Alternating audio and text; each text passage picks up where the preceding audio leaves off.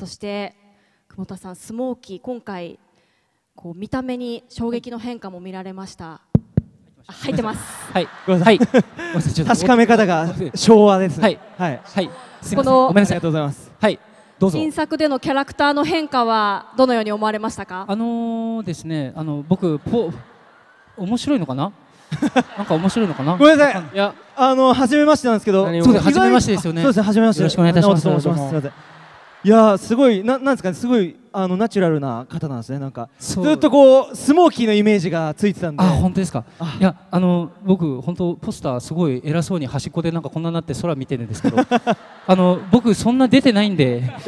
あのすいません。なのであのちょっと僕あの本当ルードボーイズを引っ張ってくれた皆さんに一言ずつもらってもいいですか？あいいです僕あの本当に喋る権利がないんです。いません。よしガック行け！これ全国全国ですからね久保さん。あのあでも本当にあの久保田さんのお芝居に説得力があってあのすごく僕らもあの引っ張っていただいてで僕佐野っていうんですけどもう一人佐野が増えたのであのそうですよね。はい。あのガクさん。どうですか？あどうも。あ。あどうも。これルードボーイズのしきたりですか？大丈夫です。確かめたいです、はい、あのーレオ君じゃない方の佐野であの佐野学ということで覚えていただければなと思います。今回僕は初めてこう参加させていただいたんですけどあの今まで感じたことない不思議な空気感の中で撮影できたことをすごく、えっと光栄に思ってますし、えっととてもいい経験になりました。そうです全君に渡します。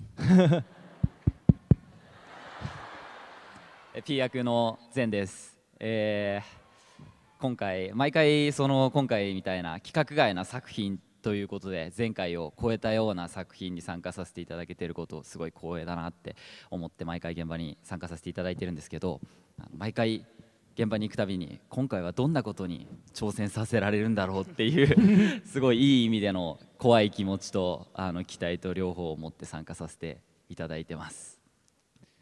いや本当にいつもルードボーイズのシーンはねもう皆さん多分全君を率いてこうパルクールでめちゃくちゃかっこいいんですけれども今回ね佐野さんも初めてこう参加されてでもやっぱりね本当に運動神経もいいのでどどうでした？撮影の方はああありがとうございます。そうですね。あのさっき確かめられてると思います。はい。もう もういいですかもういらないですよね。すみません。えっとまあでも僕も結構いろいろここまでかっていうぐらい動かしていただいたのであそうなんです。はいそこら辺も見どころとなってますのでいやはいぜひぜひ。すごいシーンが出来上がってるんで楽しみですね。はい、そして日向さんの登場シーンもすごいのでぜひ駅でのシーンご覧いただきたいと思います。さあすいません。続いていきたいと思います。あらあだ直人さん、はい。一番薄着なんですけど一番汗かいてるすみません。喋りたそうだったから。いや。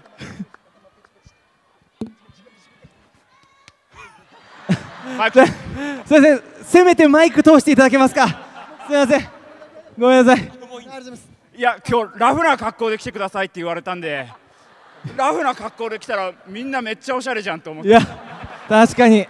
バカ野郎。ラフそうですよねラフさは一番ありますもんね。いや目立ってますよね。かなり目立ってると思います。はい。ーいやーでもありがたいです。もう本当にね。ひあれえーひひあ大丈夫ですか？あの日向さんにも。あはいこんばんは、はい。林さんにも一言いただきおましょうか。はい、撮影はいかがですか、あのーいや本当に毎回どんどんどんどんパワーアップしていって今回も直人さんはじめ、あのーすごい方たちがまた増えていって、あのーこうだるまとして存在感大丈夫かなって思いながら不安だったんですけどもやっぱりあの登場のシーン含め、えー監督久保監督アクションの大内さんがあのだるまらしいそれぞれの、えーチームらしい、えー撮り方をしてくださるので、まあ、予告にももう出てるんであれですけどターズ今回ターザンって言われて「林くんターザンターザン聞いた?」って まあ前回はボンネットで今回ターザン。なるほどキーワードは、はい。確かにね前回ボンネットではい。登場されました、次はターザン。ン。なんだろうターザンっていうのは何ですかね？ターザンになりました。はい。いきなり盛りになりましたけれども。ぜひ注目してください。はい。本編でお楽しみいただきたそういですねですねご注目ください。ありがとうございます。ありがとうございます